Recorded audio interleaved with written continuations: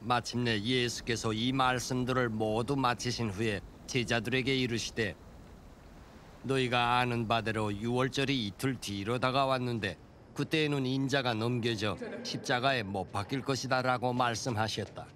그 무렵에 대제사장들과 백성의 어른들은 가야바라는 대제사장의 정원에 모여 거기서 속임수로 예수를 붙잡아 죽이려고 함께 모의하였다.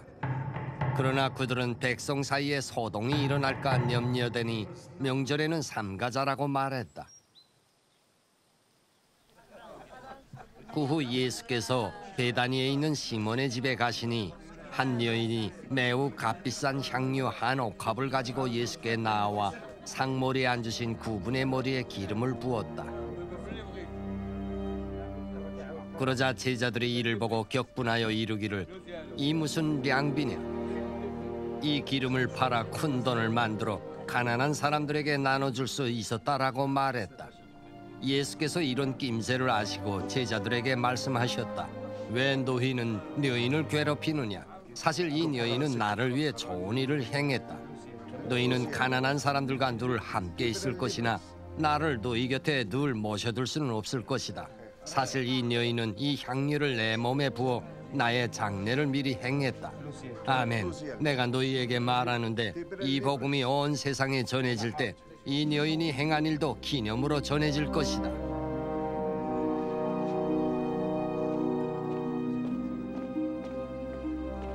그때 열두 제자 중에 하나인 가룟 사람 유다가 대제사장들에게로 가서 내가 당신들에게 예수를 넘겨주려고 하는데 당신들은 내게 무엇을 주겠느냐라고 물었다.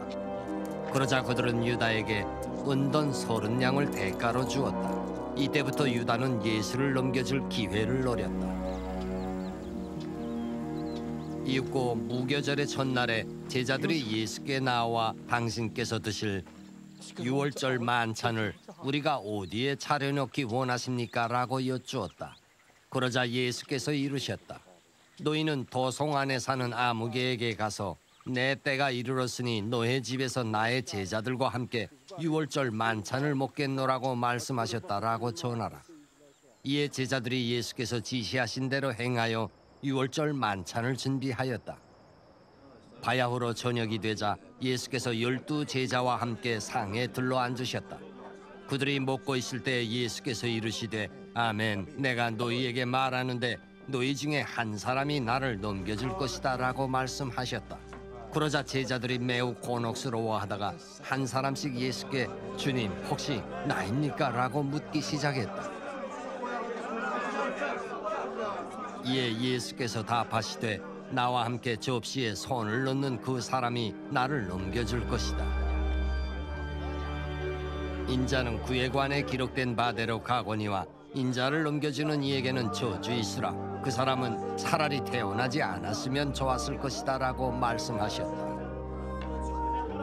이때 예수를 넘겨준 유다가 이에 답하여 주여 혹시 나입니까?라고 물으니 예수께서 그에게 네가 스스로 말하였다 라고 말씀하셨다.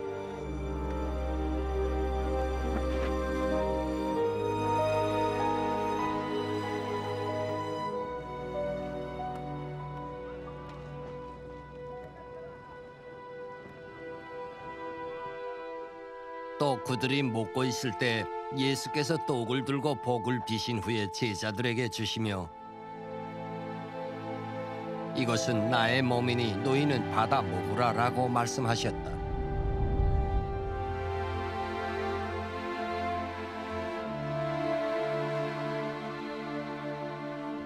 예수께서 잔을 들어 감사드리고 나서 제자들에게 주시며 말씀하셨다.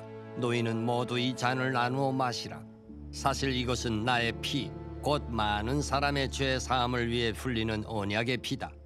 또 내가 너희에게 말하는데 지금부터 내 아버지의 나라에서 너희와 함께 새 포도주를 마시게 될 그날까지 이 포도나무에서 난 것을 내가 다시 마시지 않을 것이다.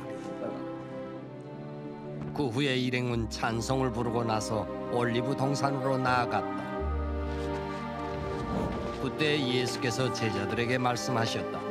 너희는 모두 이 밤에 나로 인하여 걸려 넘어질 것이니 이는 내가 목자를 치르니 양의 무리가 흩어질 것이다 라고 기록되었기 때문이다.